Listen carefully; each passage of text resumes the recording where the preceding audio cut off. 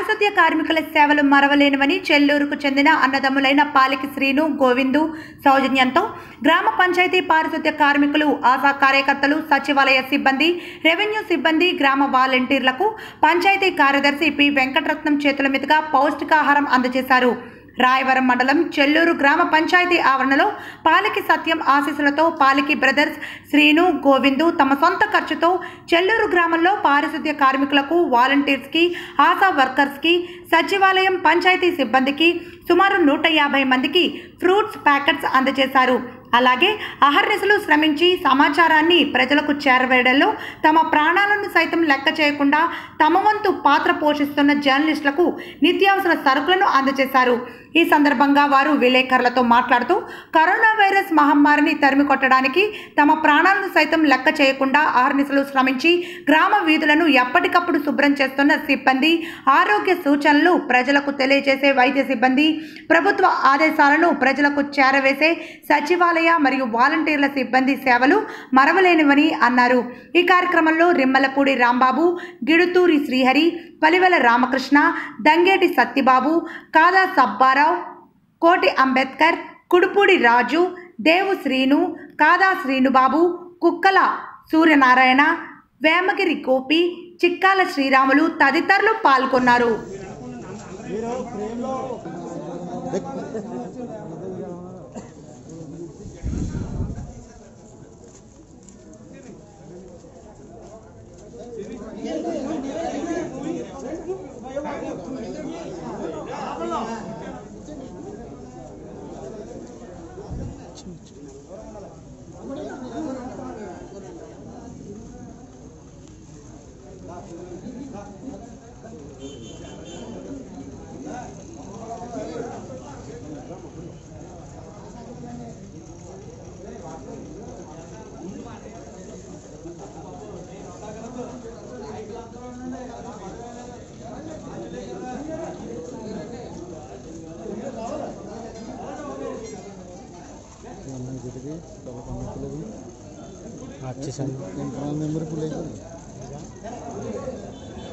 ఇది gap gap ఏమండి sir?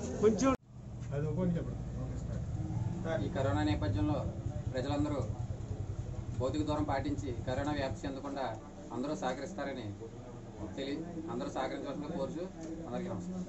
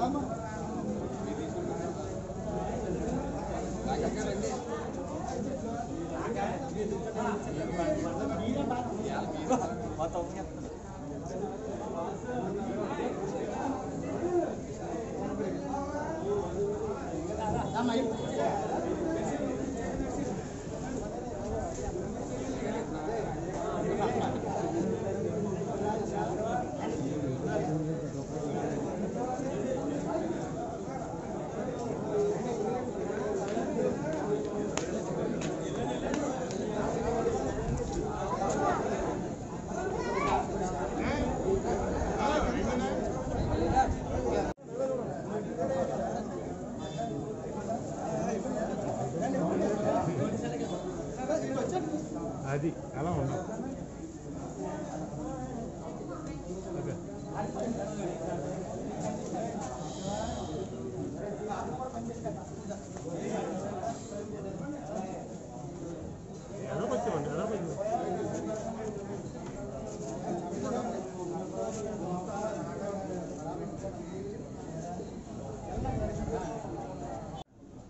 అందరికీ నమస్కారం.